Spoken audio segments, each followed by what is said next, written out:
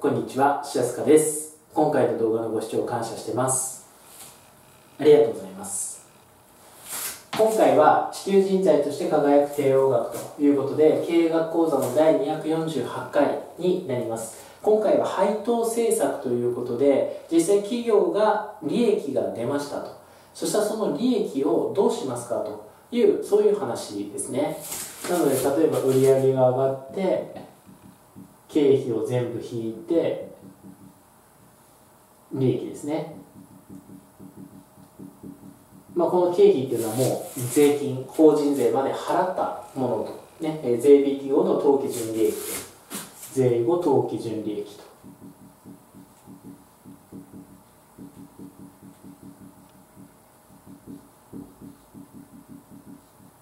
税引き後の当期純利益ということですよね。でこの当期純利益っていうのをどうしますかと経営者としてどうしますかというのが今回の話になります。でそしたらま基本的には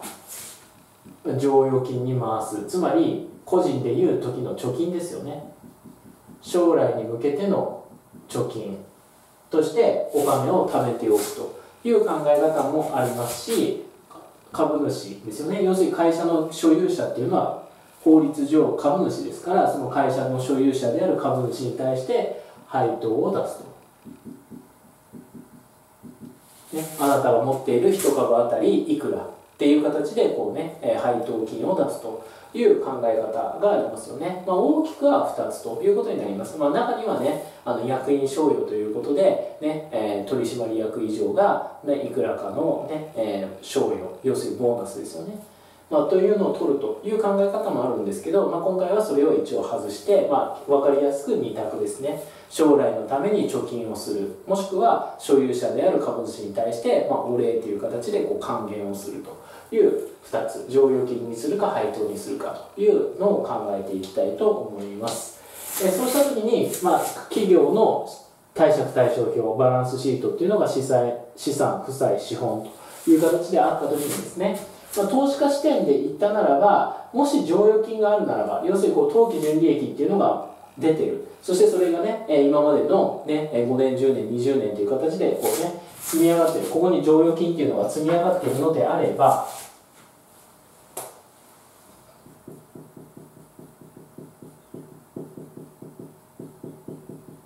剰余金っていうのが積み上がっているのであれば借入金返済ここにねここの負債っていうのを返すんじゃなくて、まあ、配当に回してほしいということですよね。自分たちが1株いえ持ってるんだったらその1株あたりいくらという形で実際自分たちにお金を還元してほしいっていうのは、まあ、投資家の考えとしては、まあ、自然ですよね、これは他人のお金ですから。で他人のお金に対してこうどんどんどんどん借金返済をするっていうのは、まあ、投資家からするとあんまり嬉しいことではないということですよね、まあ、経営者からすると、ね、借金を返どんどんどんどん返済して返して返して返して結局ねえー、その企業の安全度を高めていきたいというのは一つの考え方としてはあるわけですけど投資家からするとそれはあんまりありがたくないわけですよね。こっちは自分たちのお金。こっちは他人のお金ですから。まあ、要するに剰余金っていうのをこう他人のお金の返済に使っていくっていうのは、まあ、投資家としてはあんまり嬉しいことではないということですよね。なので経営者が配当を増やすと原則株価は上昇しますということですよね、まあ、剰余金があった時にね、えこの資本株主に対してね、どんどんどんどん配当っていうのを出してくれるということであれば株価ですよね。企業のその将来の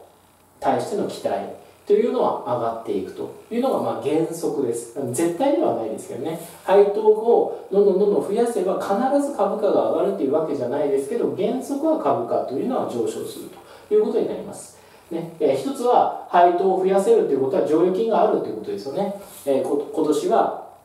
今まで例えば1株100円だったね、剰余金を120円にさせていただきますということであればあ配当を増やせるということは経営に余裕があるんだなと。で剰余金っていうのがねすごく余裕があるんだな余裕資金があるんだなっていうふうにまあ考えるということができるということですよね。えそして配当を増やすということは株主を重視していると、ね。えその波状預金っていうのをどんどんどんどんこう負債の返済借入金返済に回すんじゃなくて、ねえー、株主の皆さんに還元させていただきますということはその企業その経営者っていうのは株主っていうのをすごく重視してるんだというふうに考えることができるわけですよね。だから将来も自分たちっていうのは重視してもらえるんだと。配当っていうのをね安定的にもしくは将来もっとねいい配当っていうのをもらえるんじゃないかっていうこう期待がありますからですから基本的には配当を増やすと原則株価っていうのは上昇するというのが基本的な考え方ですよね。ただ原則があるってことはいろんな例外があるわけです。ね、えーただしですよね、えー、原則があるということは例外があるということですけど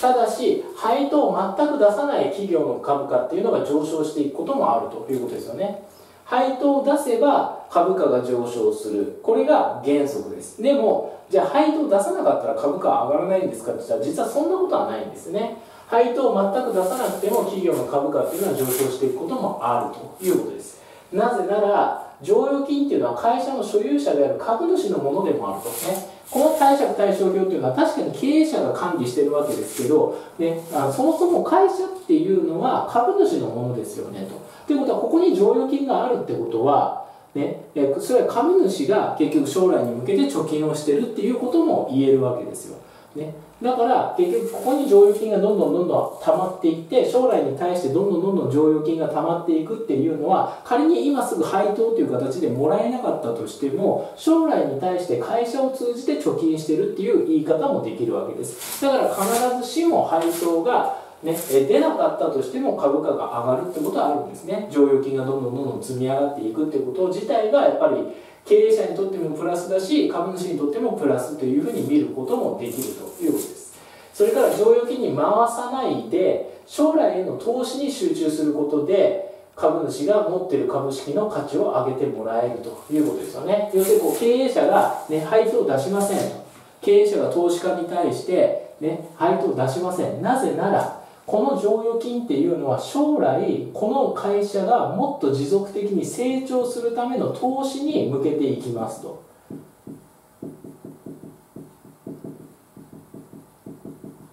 まあね、土地を買ったり工場を買ったり機械設備を最新式のものにしたり今だったらインターネットのシステムっていうのを作っていったりもしくは他の会社ですよね他の会社を、ね、吸収合併する M&A をしていく。そういったことに使っていきますと、ね、株主の皆さんに配当は出さないんですけどなんで出さないかっていうと将来に向けて投資をしていくと。でその投資に使っていきたいからだと。そうするとね、えー、毎毎年毎年配当という形で、ね、あの安定的にお金はお支払いしなかったとしてもあなたが持ってる株価そのものですよね株式の価値そのものが上がっていきますよと。ね。それで、ね、結局あの株主の皆さんには貢献していきますっていうことができるわけです、ね。だから剰余金に回さないで将来への投資に集中しますと。私たちはこの企業を成長させます。持続的に成長させます。ね。えー、なのであなたが持ってる株式っていうのはどんどんどんどん値上がりしていくんですよ。価値が上がっていくんですよっていう説明がちゃんと筋が通ってるならば別に配当が出なかったとしてもあこの企業っていうのはどんどんどんどん成長していくんだなそそれに伴って自分が持ってる株式っていうのは価値が上がっていくんだなっていうことでまあ、納得するわけですよね。会社の所有者である株主っていうのは納得してくれるわけです。だったら将来に期待して、ね、株価っていうのは上昇していくということになるわけですね。あとは利回りです。ね、あの利回りっていうのは配当プラス値上がり益。この2つを合わせて利回りというふうに言ってるわけですけど株式に対しては。株式の利回りって言ったら配当プラス値上がり益ですね。配当はもらうたびに税を支払う必要がありますと。ね。今年はね企業から自分たち投資家は配当をもらいました。もらったらその利益っていうのは必ず税の対象になるわけですよね。必ずってことは毎年配当をもらうってことは毎年その配当に対して税を払っていかないといけないと。いうことになります。そのその代わり値上がり益ですね。自分が例えば株価を1000円で買ったと。株価を1000円で買った1株ね、えそれが1200円になり1500円になり2000円になると、ね。えー、結局その企業がどんどんどんどん持続的に成長していってくれて自分が持っている株式そのものの価値っていうのが上がっていったと。でも上がっていくだけだったら税は払う必要はないんですね。でこれで例えば売ったと。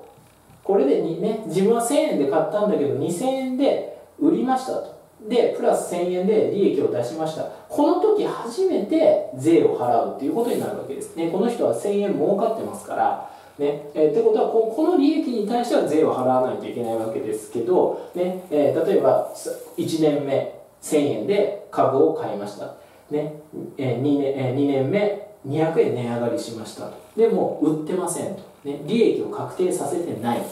3年目1500円になりました、ね、これでもあの、ね、売りませんと、ね、自分が持っている株式っていうのは価値が上がってるんだけど、ね、利益が確定してないので税を払いませんと。で4年目、ね、2000円になった時に売ってでプラス1000円の価値というのをあ、まあ、利益っていうのを確定したってことは2年目3年目は税を払わないで4年目だけ税を払うってことができるんですよね。こう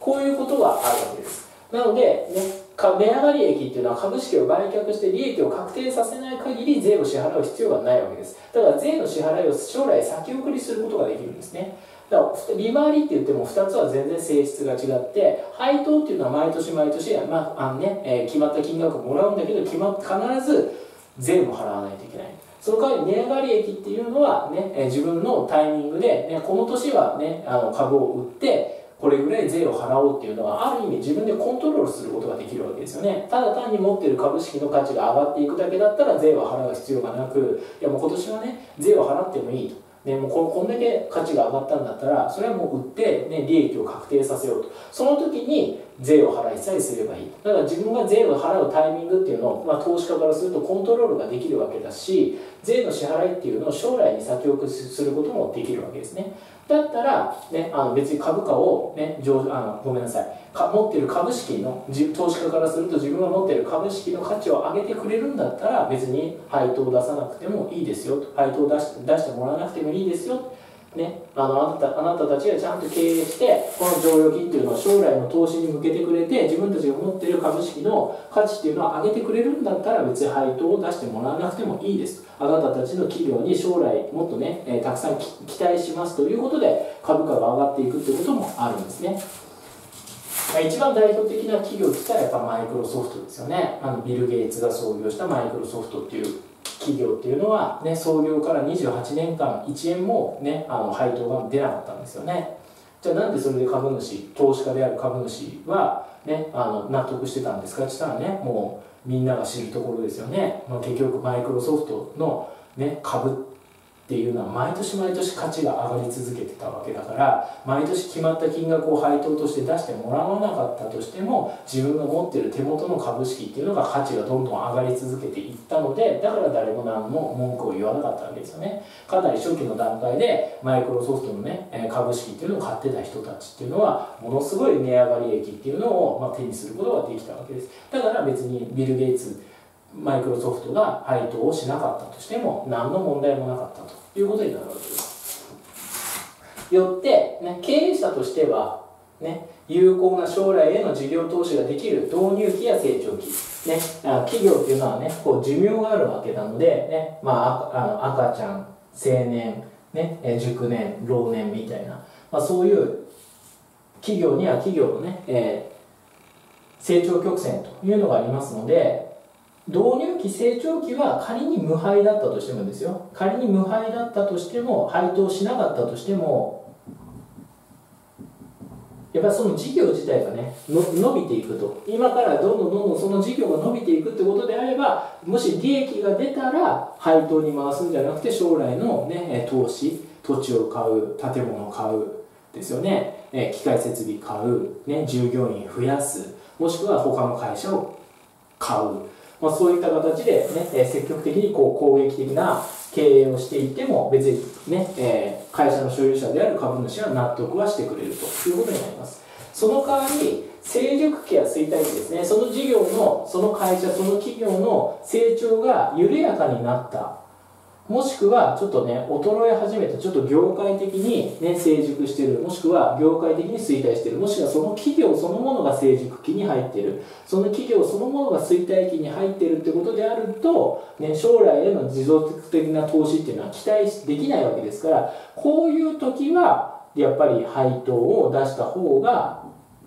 投資家の皆さんに毎年お世話になってますと。今年はこれだけ利益が出ましたので、ね、その利益の一部っていうのをね、え所有者である株主の皆様にも、ね、配当という形で還元させていただきますということをやった方が株価っていうのは上がっていきやすいということですよね。この一番最初のこの原則に戻っていくということになります。だから経営者が、ま売上から全部の経費を引いてそれでも、ね、税まで払った後利益が出た後に、ね、剰余金にするか配当にするかっていうのはね、えー、どんな企業にもどんな時期にも、ね、こうした方がいいっていう答えはなくてその企業によってそもしくはその段階によっても変わってくるということになるわけですよね。でそれをこう考えて決めていくっていうのが配当政策になるということになります、まあ、今回のまとめとしてはこの剰余金っていうのはどういうふうに経営者が使っていくのかっていった時に一つのね、えー、指針っていうか目安としては、まあ、その導入期とか成長期であれば、まあ、